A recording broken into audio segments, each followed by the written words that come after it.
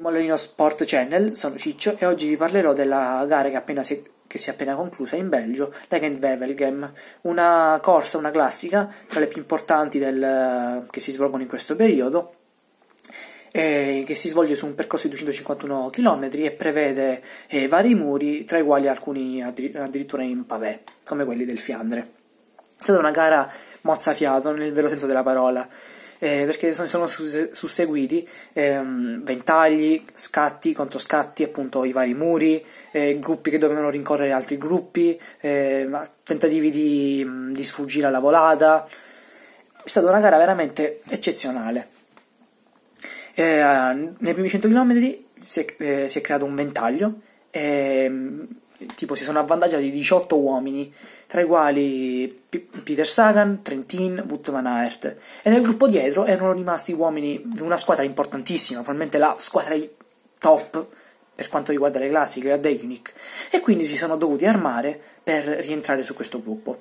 Appena sono riusciti a rientrare, ehm, ci sono appunto altri quattro uomini, tra, cui, tra, cui, tra, i quali appunto sempre Sagan e Trentin e un uomo della nella track, eh, Jasper Steven se non ricordo, e un altro che non, è, non, non ricordo bene in questo momento. Sono, hanno attaccato circa al, dopo, quando mancavano circa 60 km al traguardo, non ricordo bene. Sono stati ripresi dopo quando mancavano appunto 20 km, quindi sono fatti 40 km da soli, collaborando.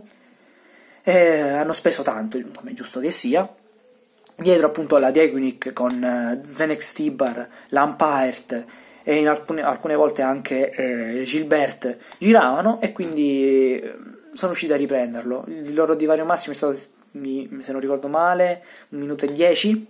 A questo punto si pensava addirittura che potessero farcela perché c'è stato tipo per un 3-4 km la Diaguinic si è rialzata per cercare di appunto chiedere alle altre squadre di collaborare, ma non, è stato, non hanno avuto questo successo, questa, questa pensata.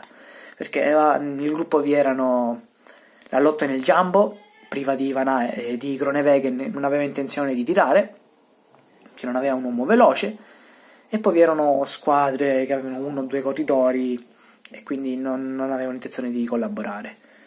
Dopo tanti chilometri, 40 circa, l'hanno ripresi e qua è iniziato un, un attacco e contrattacco continuo.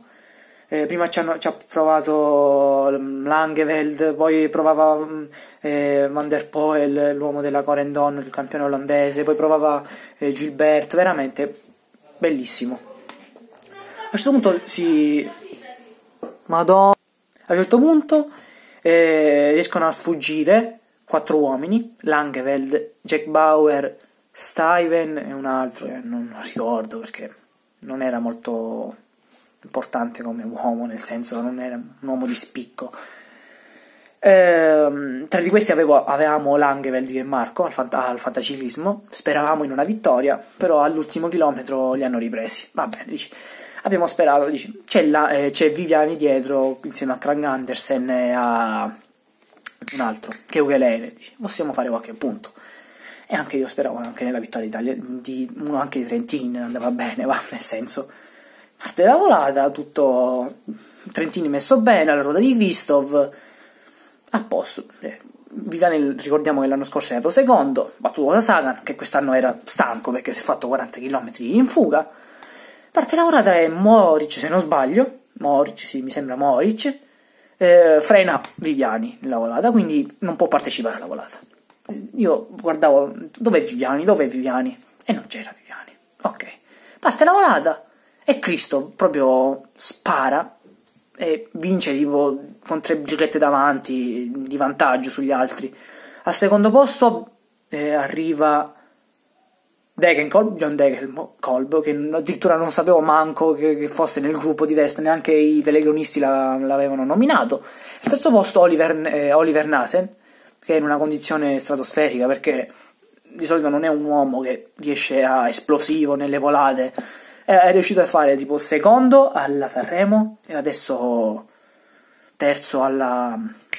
come si dice? Terzo alla. alla Ghent. Scusate. Viviani non so quanto è arrivato, ma sicuramente non è in top 10, non figura in top 10.